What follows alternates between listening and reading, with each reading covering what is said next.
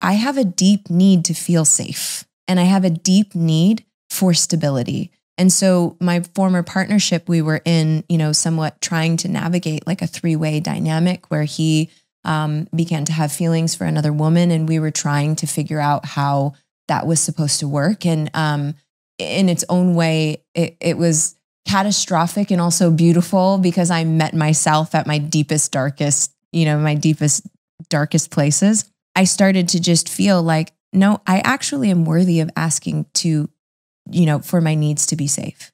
And I also recognized as I started to go into that inquiry of what I actually needed was that I was never choosing myself. So in all of those relationships, the reflection was they didn't choose me. There was always another woman involved. And it was a mirror of my own internal relationship with myself because I wasn't choosing me.